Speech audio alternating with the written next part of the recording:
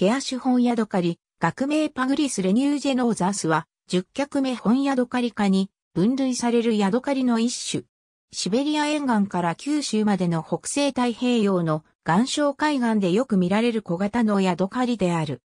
生体は高長 10mm 前後で、ヤドカリ類としては小型である。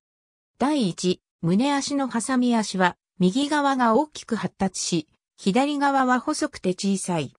生体の体色は、海緑色で、足と東京港は、緑褐色の毛に覆われ、また黒い小斑点が散在する。第一触覚、第二触覚は赤く、よく目立つ。目柄は、やや短く、第一触覚柄を超えない。日本では、北海道、本州、四国、九州と周辺当初の沿岸、日本以外では、朝鮮半島からシベリアにかけての日本海、北部沿岸に分布する。日本の熊本県産核酸の標本がネオタイプとして設定されている。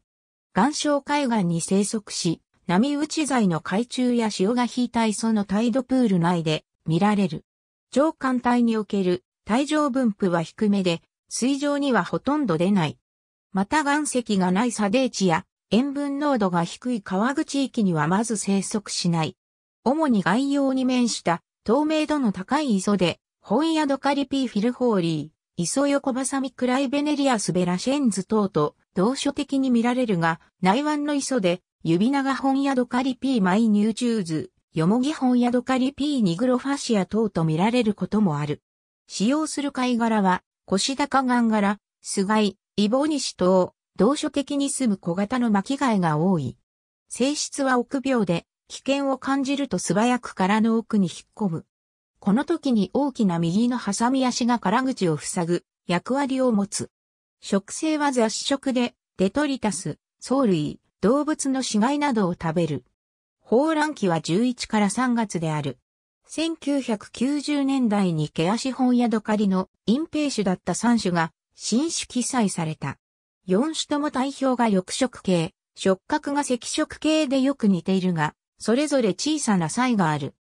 ABCD 内海藤尾、西村三郎、鈴木克美、エコロン自然シリーズ海岸動物 ISBN45 億8632万1059-1971年発行1996年改訂版保育者 ABCD 三宅貞義、現職日本大型広角類一間 ISPN45 億8630万602中1982年育者。AB 西村三郎編著、現職検索日本海岸動物図鑑2 ISBN9 兆7845億8630万2024,995年保育者。AB 奥谷、高志、蘇さん、イサム、新相版さん、K フィールドブックスさん、海辺の生き物 ISBN46 億3506万608 2006年大和、警告者 ABCDE 今原幸光編著、